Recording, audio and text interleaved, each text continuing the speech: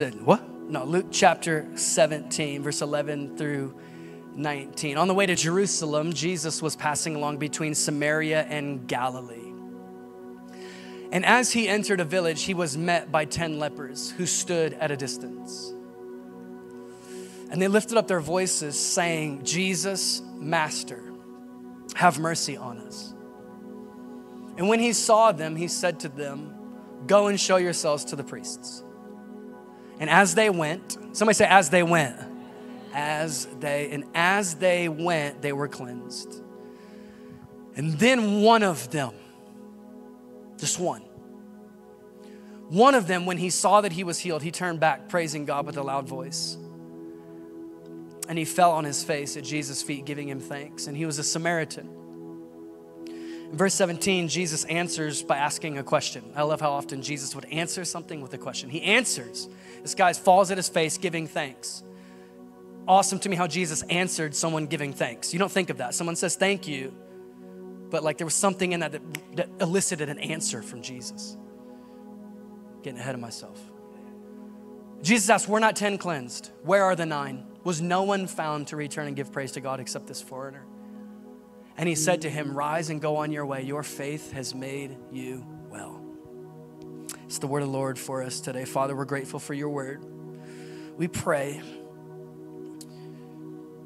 that as we sit under the teaching of your word, submit our hearts, submit our ears, that you would encourage, that you would challenge, that you would stretch, that you would remind us of things that we have already known and long forgotten, that you would teach us new things, that your word would come alive on the inside of us. In Jesus' name. Everybody said, Amen. Thank you, Sunshine. Everybody, I'm gonna have the band join me up at the end. You've caught us in a very, very, very special day in the rhythm of our church calendar. Today, especially, we are here to praise God for his blessings over this past year. Today, especially, we're here to praise God for his blessings over this last year.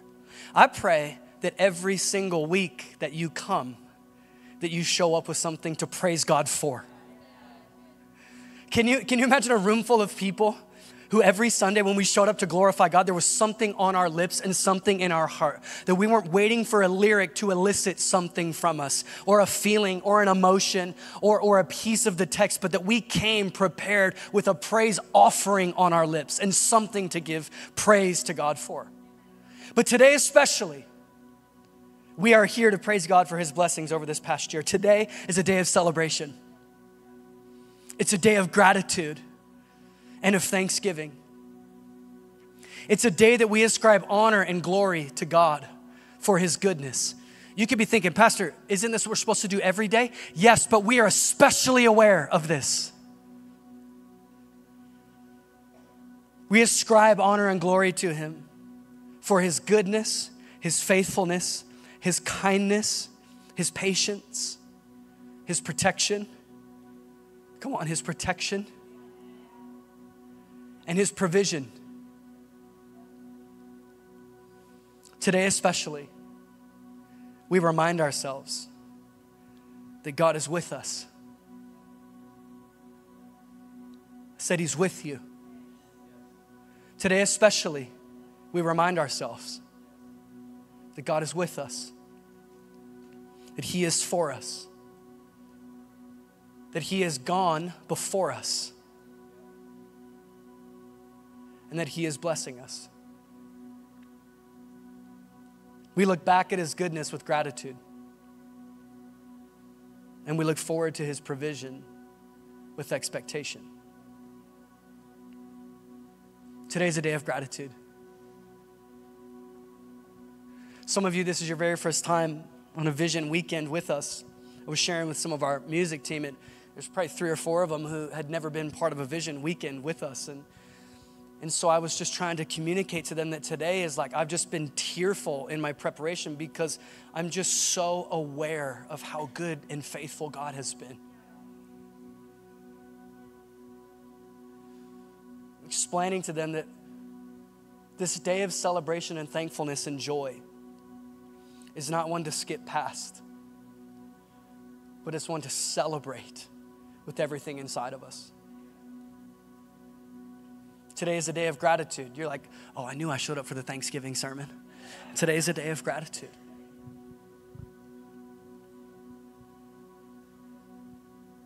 Why gratitude? Because gratitude glorifies God, bro. Gratitude glorifies God. You know why gratitude? Because you have a testimony. You have a testimony. You have a testimony of how God preserved you. You have a testimony of how God protected. You have a testimony of how God provided. You have a testimony of how God delivered and set you free and broke things off of you that you could not break, that only the anointing could break that kind of yoke. Why gratitude? Because you got a testimony. That's why gratitude.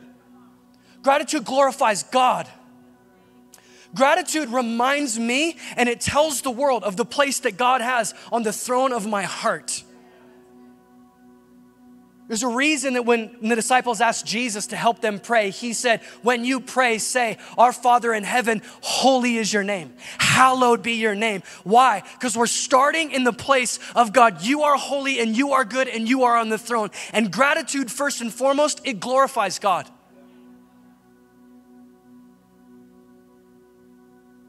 Today's a day of gratitude. Gratitude glorifies God. Grat- gratitude testifies to His goodness. I grew up in church that we would every now and again just have testimony services. Anybody remember testimony services? It has shut them down because some people wild out on the microphone and it wouldn't be a testimony anymore. You'd be like, whoa, calm down.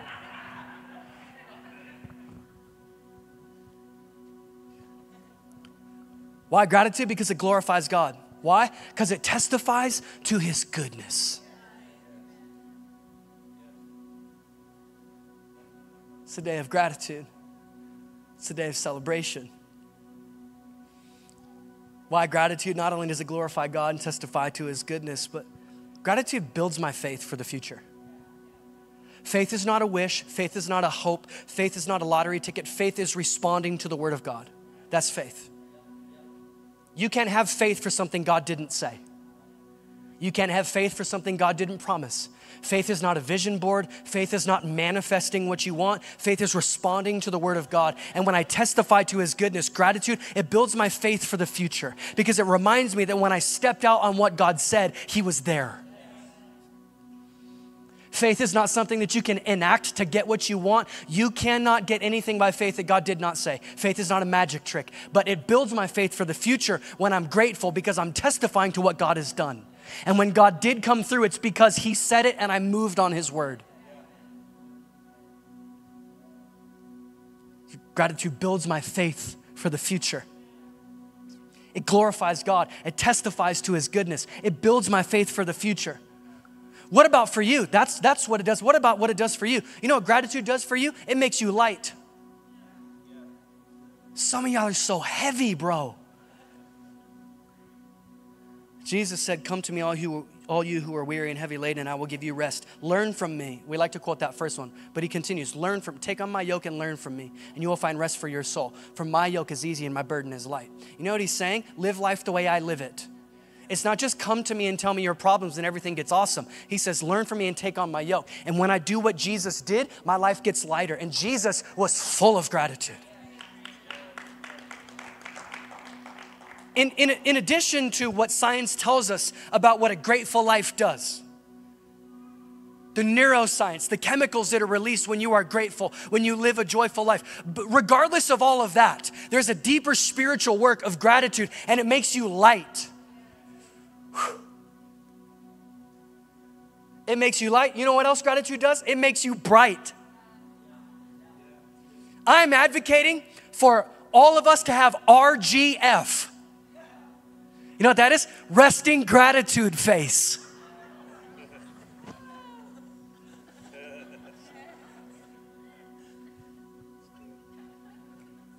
Gratitude makes you bright, man.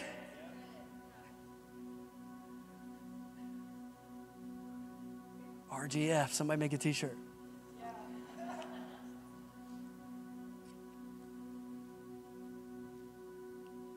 Gratitude makes you light, Gratitude makes you bright. You know what else? Gratitude is fun. I'm so serious, man. Like when people are like, Pastor, how can I pray for you? Very often, my, my first prayer request is, can you remind, can you pray that the Holy Spirit remind me to be fun? I want to be a fun dad. I'm like, I'm, I'm taking every moment to teach. And like, can, but like, can, can, can, can you just help me? Grat- gratitude, gratitude makes you fun. Makes you light, makes you bright please don't forget that what Jesus said about you is that you are the light of the world. He said, I am. In John chapter 1, uh, John said that about him. But then before Jesus ascends to heaven, he tells the disciples, You now are the light of the world. And in a world that is so heavy and so cynical, you know how easy it is to be cynical? That is low hanging fruit. Anybody can be cynical. But the true work of like Holy Spirit inspired gratitude, we're gonna get to how it's a work of grace. But what if that was one of the most powerful apologetics for the work of God in your life is that you lived life you lived a life of gratitude.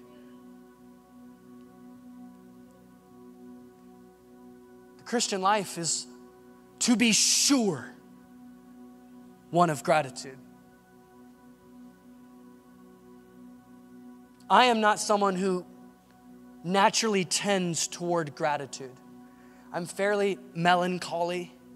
I'm fairly, I tend to like see things like, okay, what's gonna go wrong next? I'm just waiting for something to happen. So, you know, when if you've been coming to our church for a while, I'm sure that like 90% of you go to our church because of Ray Isaac. That's probably true. You're still here somehow. And you're like, how is it possible that someone is that joyful and has so much gratitude? And maybe you're like me and you don't tend toward gratitude. You tend toward Okay, that's awesome, but like somebody has to pay attention to the details. Not everybody can be Mary. Somebody's got to be Martha. Somebody's got to make sandwiches. Somebody's got to work around here. Somebody's got to be serious.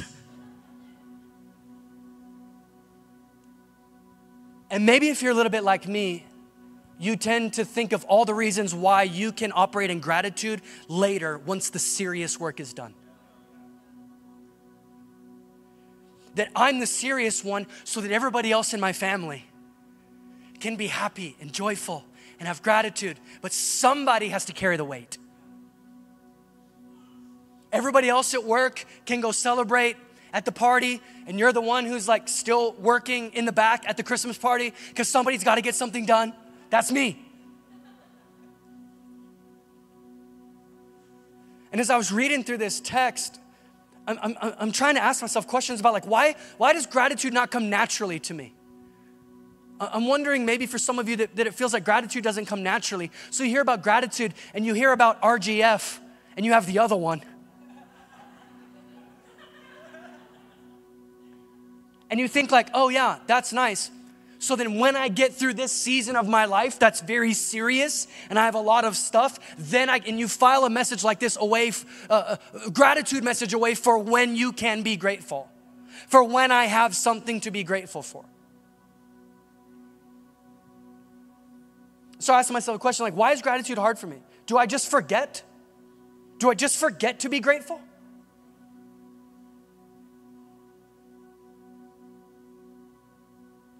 Is gratefulness hard for me? This is a question I was asking myself this week. Is gratefulness not natural to me because I'm entitled?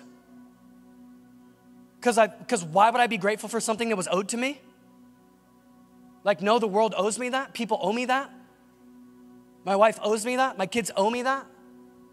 My team owes me that. And so it's hard for me to be grateful. I'm asking myself this question Is gratefulness not come naturally because there's some sort of entitlement in me?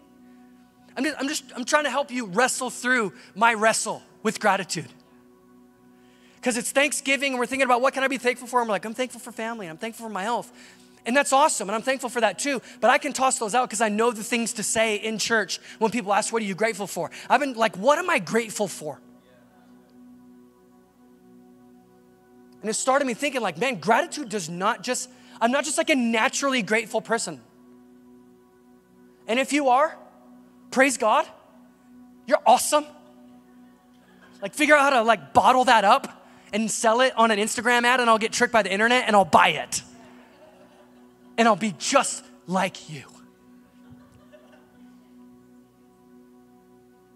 If you're naturally if you naturally gravitate toward gratitude, thank you, thank you, thank you for being who you are because we need you.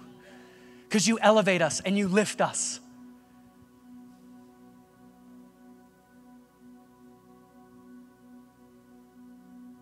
Am I entitled? Am I here's another question I ask myself Am I just biased towards struggle? Is that like my identity that I'm the guy who pushes through hard stuff?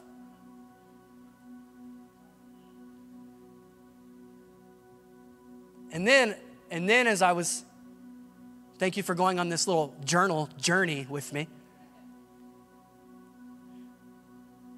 I realized that to me, when I really thought about it, gratitude felt aloof. Gratitude to me seemed like it's lying and it's not aware of the hard things in life. And so I felt like when I was grateful, I wasn't acknowledging the fact that I had hard stuff in life too.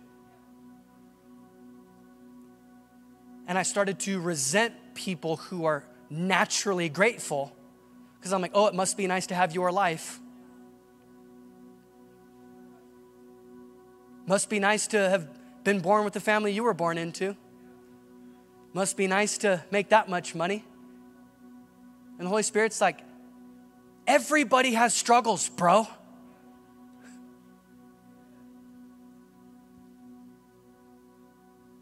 It felt aloof, it felt passive. And then as I'm reading through this text, Jesus, he tells this story. This is a text about gratitude, these 10 lepers. Sure, it puts the, the power of God on display. And sure, we can learn all kinds of things, but it's a text about gratitude. And it comes on the heels of a text about entitlement. And that comes on the heels of a text about forgiveness. And I started asking myself the question Am I carrying things that I haven't forgiven for because I'm entitled, because I'm not grateful?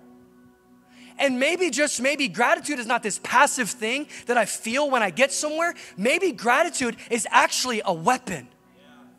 And maybe gratitude is actually the thing that I feel like I'm carrying this weight and I've been trying to kill this tree of like unforgiveness. And it's actually gratitude that is chopping at the roots of that thing. Where I've tried to I've tried to like knock the fruit off of the tree. I've tried to poison it. But what if gratitude is not this passive thing that happens at the end? What if an active life of gratitude is like an axe chopping at the tree of that unforgiveness and that entitlement that is at work in my life? If you couldn't tell, I'm a little bit intense and I like active things. So the Holy Spirit is like, hey, check out Jesus is pretty smart because he's God and he told these stories in this order on purpose. Forgiveness, the reason you don't forgive is because you're entitled. And the reason you're entitled is because you don't have any gratitude. And I was like, stop it. don't do that.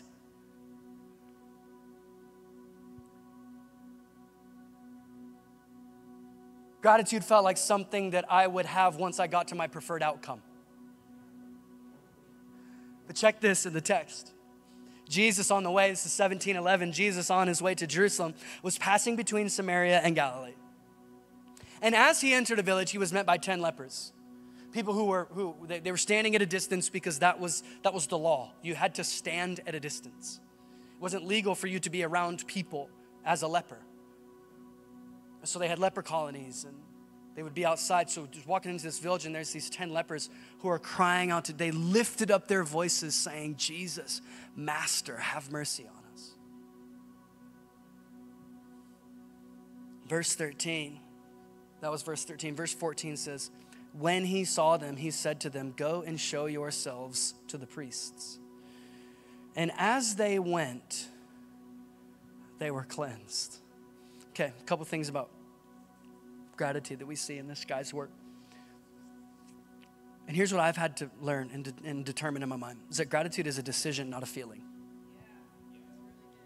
I'm gonna tell you again gratitude is a decision, not a feeling.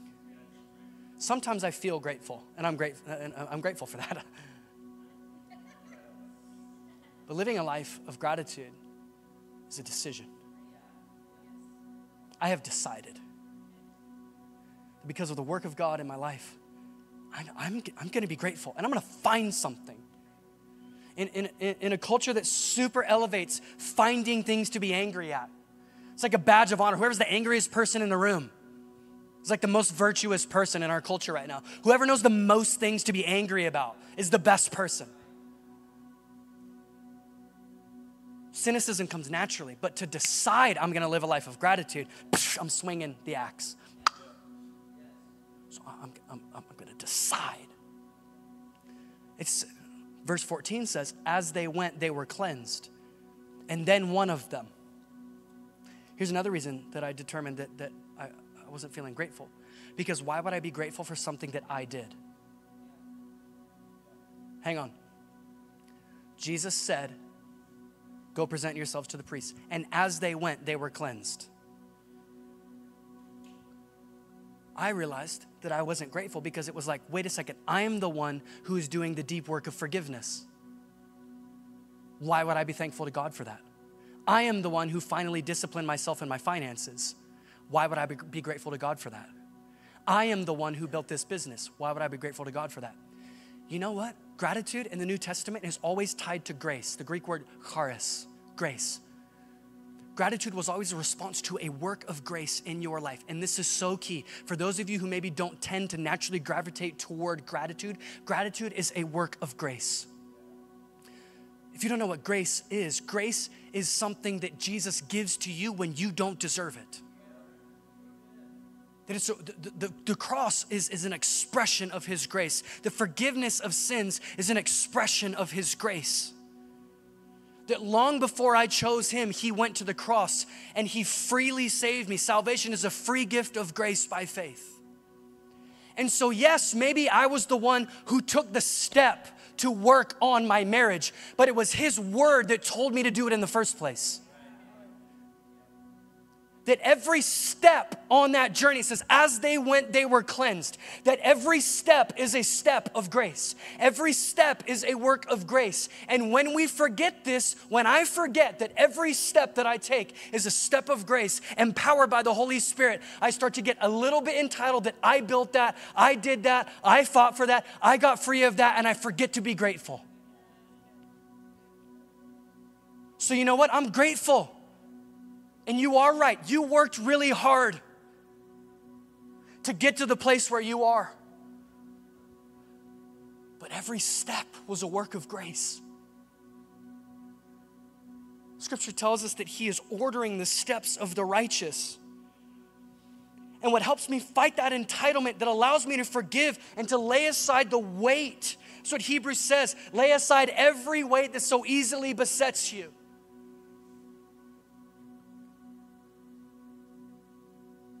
That when I remember that every step I'm taking, yes, you're talented, yes, you're smart, yes, maybe you're in a better place than you've been. You're not quite where you want to be yet, but you're further along in your health. You're further along in your finances. You're further along. Insert area here. Yes, you're working hard, but my friend, please do not forget that every step is a work of grace.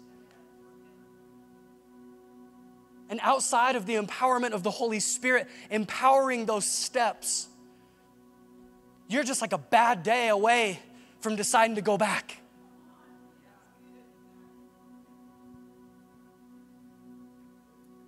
And the Holy Spirit was reminding me, Josh, I'm so, I'm so, it's awesome how strong you are and driven. Don't forget that I made you that way.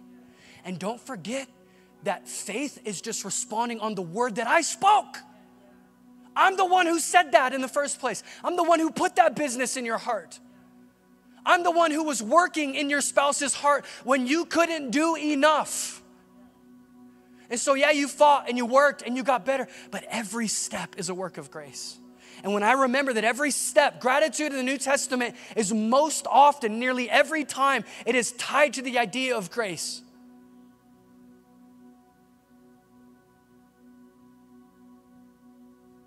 I can remember to be gra- grateful. Because, yes, I'm, I'm the one who took the step, but that was a step of grace.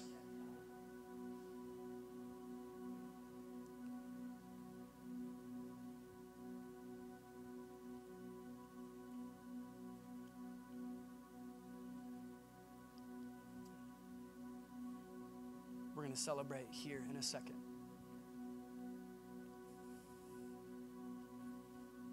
You have so much to be grateful for. Maybe this is the one that's going to help you most. Verse 15 one of them, when he saw that he was healed, he turned back. Somebody say, turn back. Maybe this is the one that helps you the most. I don't tend toward gratitude because I'm always moving forward. The pace of my life, I'm always on, my personality, I'm always on to the next thing. Ah, cool, God came through. What's next? What's next? What's next? It's probably exhausting to work for me. What's next? What's next? What's next? Can you say thank you? Yeah, thanks. What's next? But here's what gratitude requires, and here's why maybe we don't tend to it because our lives are so fast paced. Gratitude requires that you stop and turn around. And I'm not so great at pausing, I'm not so great at stopping. And for somebody who's driven and forward looking, it's hard. It, sometimes it feels like you're abandoning your post to turn and pause and look back. So, all 10 of them, Jesus heals them, and then all 10 of them have things to do. They do. Can you imagine? You've been living in a leper colony, now you're healed. What are you gonna do? I'm going to Target, dog. I've been at Target in years. I don't have to have Chipotle delivered to my house. I can go, I'm going to Chipotle. I got stuff to do. And how quickly we can forget the miracles that God is working in our life because we didn't turn back. This is why it's another reason why it's so important to journal through what you're reading and what you're praying because you can turn back and you can see what it was like when you were praying. Because where you're at right now, we have revisionist memory, and it, it feels like it's always been like this, and it hasn't. You haven't always been this mentally stable. Remember when you were praying and crying out to God for stability, and then God was so faithful, and God elevated, and God healed, and God saved, and now you got a testimony, but you forgot because you haven't looked back in a second. And so I often don't don't operate in gratitude because I, I make the mistake of thinking that 36 year old Josh, this snapshot of my life, and that it's always been like this. I haven't always been this healthy. I haven't always been like this. I haven't always been this patient. And maybe, maybe this gratitude that is chopping at, at that tree of, of the weight in your life Maybe all it takes is for you to just stop and turn around for a second.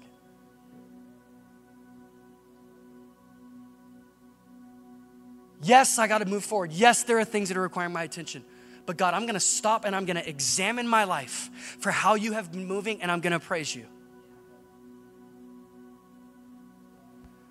One of them, when he saw that he was healed, just one of them,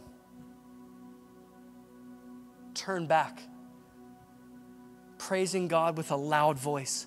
You know why we're gonna sing when we're about to give? Because we're gonna praise God with a loud voice. He fell on his face at Jesus' feet, giving him thanks. And he was a Samaritan. We're gonna sing echoes. I'm getting my cardio up right now, getting the blood flowing. And Jesus answered, We're not 10 cleansed. Where are the nine? I do not want that to be said of my life. That I that Jesus was moving and he healed me and he set me free. And I was like, okay, thanks God. And I was on to the next thing. I got my squeaky shoes on today, so it feels like I'm moving. That was a total accident. That, that we would be the kind of people that we would, we would have the wherewithal to stop. We would be in the rhythm of stopping. We'd be in the habit of stopping and examining and seeing how God was moving so that I didn't start to live an entitled life because my testimony and where I'm at right now, it wasn't always this way. Why am I grateful? Why do I live a life of gratitude? Because I have a testimony. You live a life of gratitude because you have a testimony. You know where you should be. Joe, you better get out and help me with this. I'm about to jump off this stage. You know where you should be. This is why gratitude is important. It glorifies God, it testifies to His goodness, it builds your faith for the future. Jesus says, Was no one found to return and give praise to God except this foreigner? And then here's what Jesus says Rise and go your way. Your faith has made you well. Wait a second, wasn't he already healed? What do you mean made you well? There's a deeper work now going on in this guy's life. It's not just an outside thing, these are different words. He says healed, he says cleansed. Well is not the same thing. So it started as something that I can look at and I can point to. I, I was not well and now I'm well. When I turn and I'm grateful, it opens my heart for the deeper work of the gospel. Not just something not just like some outside exterior thing where it was like, man, this is awesome. How cool is this? But that gratitude is opening my heart for God to work deeper. Rise and go your way. Your faith has made you well. And you know what we want in this church? And I pray that every church that, that is preaching the gospel, is what we want is not just some outward signs, we want the real deep work of the gospel. And Him turning in gratitude is, is what opened this up to. Him. So, okay, so maybe you're waiting for some preferred outcome. Please don't wait for a preferred outcome to be grateful. Have gratitude right now, every step of the way. Every step is a step of grace. As we're singing Jesus, Light of Heaven, as we're singing this song and we have reflected, you have reflected, you have taken time, you've prayed over this. God, what is it that you want me to give? If you're here for the first time, here's what we're gonna do. We gave everybody a card. Some of you gave online, some of you were given with cash, check. Many of you gave online. You can give genesisspokane.com slash give. We're to sing this song and we are to we are to praise God for what he has done. We're to turn back and we're to look.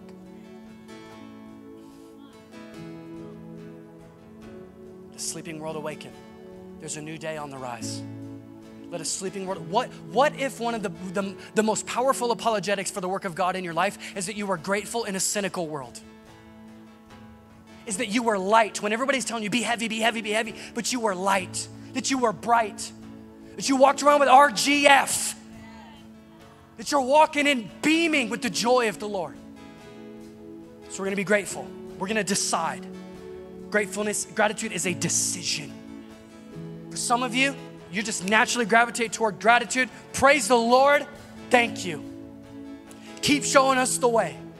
For the rest of us, we decide. So I'm to pray over us. Oh my gosh. I'm to pray over us and then we're to praise God. God has been so faithful. Why gratitude? Because you have a testimony and somebody is coming. Somebody else is coming. And we're making room for their testimonies. We're making room for God to meet those, those kids personally and powerfully. That's my prayer of what God would do through me and through me and my wife, what He would do through that offering is that He would meet them personally and powerfully. He would meet them in their curiosity and their wonder and reveal Himself to them personally and powerfully. That's my prayer. In case you were looking for something to write down, that's what I'm praying. Let a sleeping world awaken. There's a new day on the rise. I can't wait to sing that lyric. It's like halfway through the song, but it's already in me. God, we are grateful to you. Help us, Holy Spirit. Help us, Holy Spirit, to see that this is a work of grace. Let this not be something in us that we just like work up on the exterior, but as we really reflect,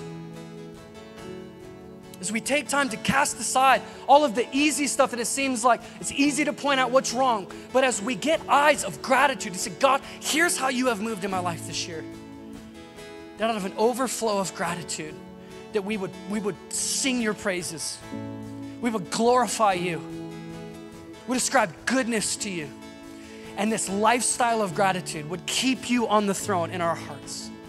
In Jesus' name, God, we pray for everybody who's sowing that you would multiply this into our mission partners, Bite to Go, World Compassion, Team Church, Leading Second, all of, all of our partnerships, all of the missionaries, Convoy of Hope.